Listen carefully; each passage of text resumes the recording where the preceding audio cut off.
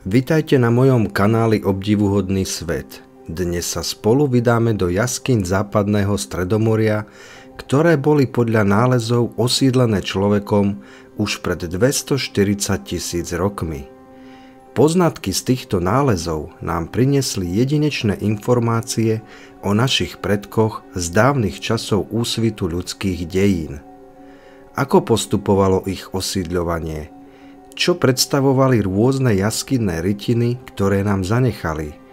A sú sošky tzv. Venuší, ktoré sa tu našli pravé, alebo sa jedná o podvrh. Poďme si skúsiť zodpovedať tieto otázky, ale predtým vás chcem poprosiť, aby ste podporili tento kanál jeho odberom, lajkom na video a jeho zdieľaním. Jaskyne červených skokov sa nachádzajú v Ligúrii pri ponte San Lodovico medzi Talianskom a Francúzskom. Miestni im hovoria Bausi Rusi, čo v preklade znamená červené skaly alebo červené skoky. Sústavu jaskyň, ktoré prechádzajú za sebou, si za svoje útočisko vybrali kmene lovcov v radnej staršej dobe kamennej.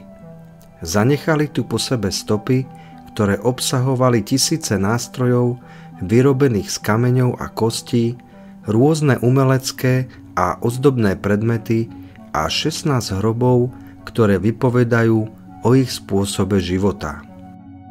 Táto oblasť sa stala obyvateľnou pri otepľovaní na konci doby ľadovej, keď sa tu v topiacom ľade nachádzalo množstvo vody a v tejto oblasti tiež migrovala zver. Práve tu nasledovali aj naši predkovia na ich dlhej púti údolím Rony po Ligúrskom pobreží až k brehom Toskánska. Tieto jaskyne boli osídľované pravekými kmeňmi po niekoľko tisíc ročí vždy v čase, keď neboli práve zaplavené morom. Pred jaskyňami sa našli stopy po otvorených ohniskách a v neskorších obdobiach aj dočasných prístrežkov pre ich obyvateľov. Núdza o potravu tu rozhodne nebola. V teplejších obdobiach tu lovci našli krídlace, mušle, žili tu dokonca slony, hrochy, nosorožce a leopardy. V chladnejších obdobiach boli na ich jedálničku medvede, soby, svište a mamuty. Bedrová kosť dospelej ženy vo veku asi 40 až 50 rokov, ktorá sa tu našla, vypoveda napríklad o tom, že sa pohybovala so spriameným trupom. Ďalšie objavy v sedimentoch v tejto oblasti ukazujú na možné stopy človeka a jeho aktivít až do obdobia pred 900 tisíc rokmi. Sú však potrebné ďalšie skúmania, aby sa to definitívne potvrdilo. Neandertalský človek sa v tejto oblasti zdržiaval v období 80 tisíc až 36 tisíc rokov pred našim letopočtom. Homo sapiens tu zakladal svoje osídlenia do obdobia približne 10 tisíc rokov pred Kristom. Červené skaly boli obľúbenou oblasťou kromaňonského človeka, z ktorého pochádzame aj my. V jaskyniach boli objavené hroby dvoch detí. Boli odeté do zástier vyrobených z morských mušlí. Pod nimi boli objavené ďalšie hroby, kde ležala kostra kromaňonského človeka na chrbte a nohy mala obložené kamennými doskami.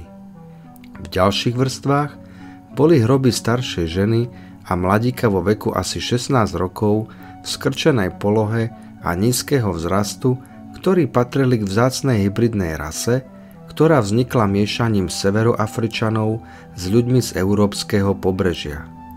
V ďalšej jaskyni, zvanej jaskyňa Veľkého Lona, našiel francúzsky archeológ Emil Rivier pozostatky kromaňonského človeka vysokého 1,85 metra. Na lepke mal akúsi helmu vytvorenú z vyše 200 prederavených mušlí.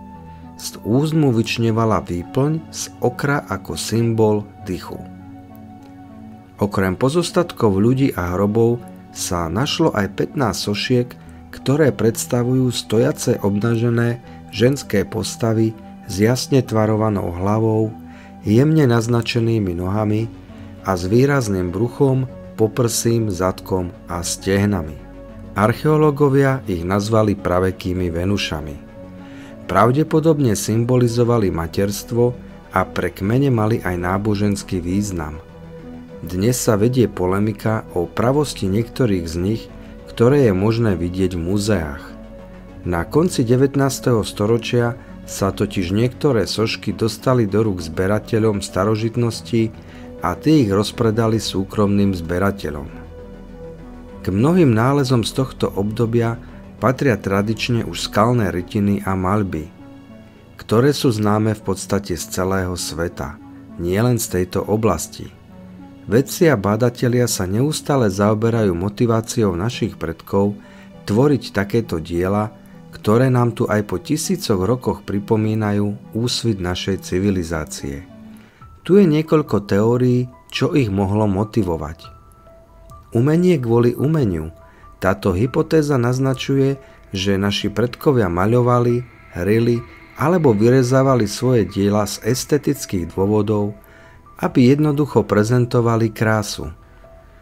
Zaujímavé je však to, že počas tisícov rokov kedy sa tomuto umeniu venovali, nemajú ich výtvory rovnakú estetickú kvalitu. Totemizmus. Táto hypotéza naznačuje, že každý klan alebo ľudská skupina bola reprezentovaná symbolickým zvieraťom, jeho totemom či bytosťou, ktorá môže byť uctievaná pre ochranu, ktorú prináša a dedictvo predkov, ktoré stelesňuje. Čarovný lov Zaujímavá teória, ktorá hovorí o tom, že praveky ľudia sa pokúšali ovplyvniť výsledok svojho lovu tým, že ho kreslili do jaskýň. Štrukturalizmus Hypotéza, v ktorej sa hľadá priestorový prístup a význam jednotlivých postav zobrazených našimi predkami. Jedná sa o rozdelenie na centrálne a okrajové symbolické postavy, pričom najdôležitejšia bola mužsko-ženská dualita – ktorú symbolizovali určité zvieracie postavy. Šamanizmus Jednoducho postavy nakreslené v jaskyniach predstavovali podľa tejto hypotézy nejaké znázornenia vízií získaných počas tranzu alebo stavov blízko tranzu. Absencia slov Je možné, že našim predkom viac vyhovovalo používanie obrázkov namiesto slov na vyjadrenie zložitých myšlienok. Aj táto hypotéza je v hre. Zaujímavé teórie, čo poviete? Ak sa vám niektorá z nich pozdávala, alebo máte nebodaj tú svoju, podielte sa s nami v komentároch pod videom. Naši predkovia nám zanechali mnoho artefaktov a stôp, vďaka ktorým si môžeme aspoň čiastočne predstaviť, ako žili, ako prežívali svoje životy a čo bolo súčasťou ich sveta ďaleko pred tým našim. Ak sa vám toto video páčilo, podporte prosím moju tvorbu. To všetko pomáha dostať tento príbeh ďalším z vás. Dovidenia na budúce.